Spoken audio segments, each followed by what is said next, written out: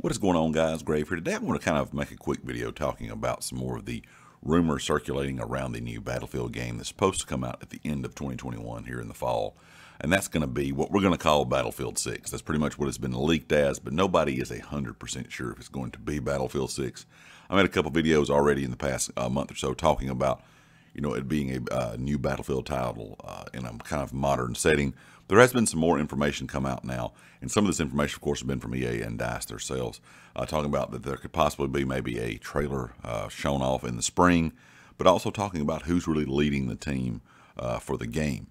A lot of us are used to DICE, of course, working on different Battlefield games. Of course, they have different, you know, divisions of DICE within EA. But this year, it seems that DICE LA is really doing a lot of work on the game. And I don't know if you remember, but when Battlefield 4 came out, it was not exactly the uh, most bug-free uh, game out there. It was pretty broken.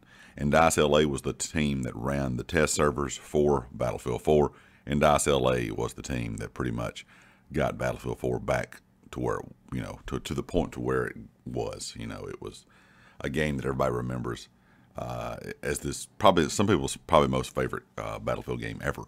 And the team at DICE LA was the team that did that. If it hadn't been for DICE LA, I'm not sure if that game would have ever really got out of the broken state that it was in.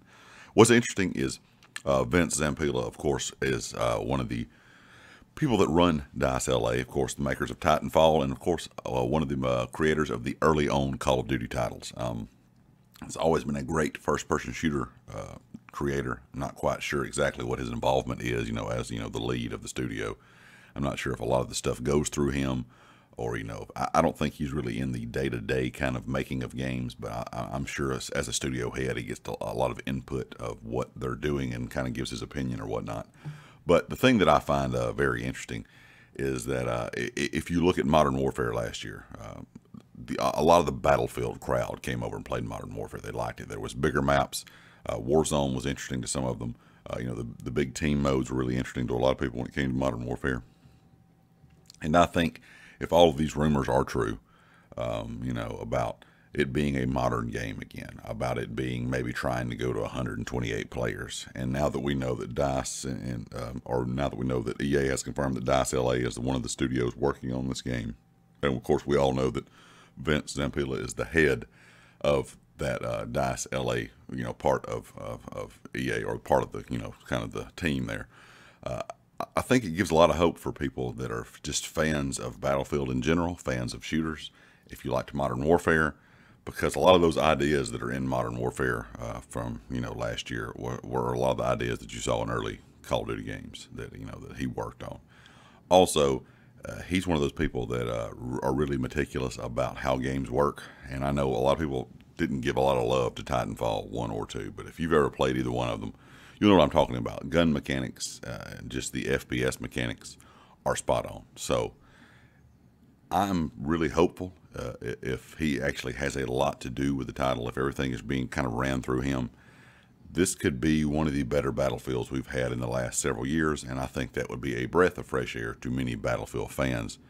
Because you guys know, I've always talked about it here on the channel. I've played all the COD titles ever made, played all the Battlefield titles ever made, and both of them at times are disappointing, and Battlefield over the last couple years have been disappointing. Um, and I, I think a good, enjoyable Battlefield game again. That same experience that I had with you know games like Battlefield 3 and things that came out before that, the Bad Company games. Uh, you know, kind of you know that that time frame. A lot of people had that feeling with Battlefield 4. They absolutely loved it. They played it for years, even after you know other Battlefield titles were out.